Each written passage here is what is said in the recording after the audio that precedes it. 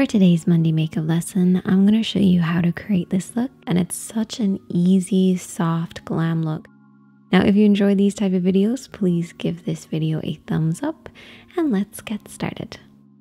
I've applied primer all over the lid. This is going to give the eyeshadow something to hold on to and also create a blank canvas for us to work on. This is the palette that we're using today. It's the Emily in Paris palette. Now, I'm not really a fan of the show, and I'm not usually a fan of palettes that aren't square or rectangular, but this palette just won me over, and it's perfect for February because it's a heart. And I'm going to be applying that using the Blank Canvas Cosmetics One Stop Eye Brush set.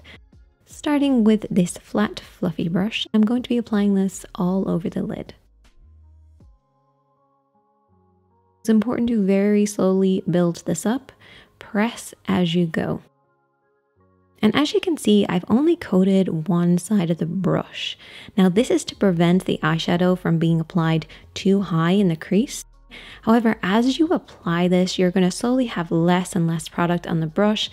And then what you can do is you can flip the brush around and that way you end up dispersing the eyeshadow upwards, but still not applying too much. Now taking that pencil brush, this is from that same set, I'm going to be applying this all over the lid. Now this has a hint of shimmer in it and that adds a little bit more depth because it adds that kind of texture in there. Now taking that pencil brush again, I want to add a little bit more depth just to catch the light. Beautiful glossy kind of finish, but it's still really wearable at the same time. So you don't have to be worried about it being too shimmery. And then you should end up with something that looks like this. Taking a clean brush next, I'm going to very lightly blend over the eye area. To finish the look, I'm taking the lightest eyeshadow on the inner edge just to catch the light. It would also look great just underneath the brows as a touch of a brow highlight. Before I apply mascara and lashes, I'm going to sweep a mixture of the bronze tone underneath the eyes. This is using the pencil brush.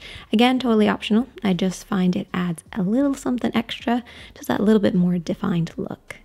And there you go. That is the finished look. I hope that you enjoyed it. If you did, give it a thumbs up. As always, my friends, be kind to yourself, be kind to others, and I will see you in the next one.